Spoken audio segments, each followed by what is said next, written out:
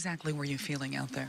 El dirigente mencionó que mañana te van a hacer un, un examen, un MRI. Eh, ¿Qué exactamente sentiste cuando estuviste pichando hoy? Bueno, sentí una, una molestia eh, enfrentando al, al- abriendo inning, el, el quinto contra Rivera. Y bueno, después de ahí, pues traté de continuar en el juego, porque fue un- bueno, una pequeña molestia nada más, pero eh, Girardi tomó la decisión de, de que del juego para no vaya a pasar este, algo peor y vaya a lesionar. Claro. So uh, when I was facing Rivera in the fifth, I felt a little, little bit of discomfort, um, but I, I thought I could get could keep pitching. Uh, but you know, Girardi came out and told me, you know, let me take you out. I don't want you to do something um, wrong mechanically and get hurt even more. So uh, that's that's uh, when I, I was taken out of the game.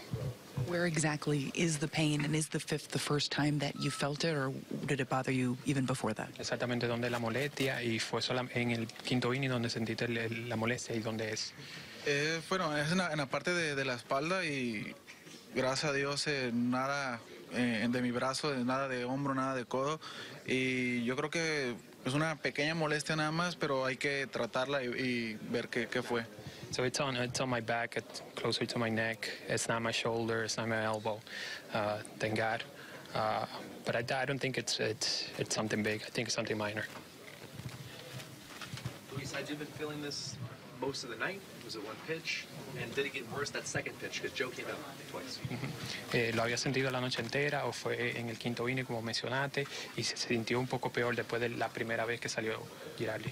Sí, las- la, la molestia la sentía durante el juego, pero era una molestia que, o sea, normal. Yo creo que no, no me afectaba en, en lo absoluto para, para pichar.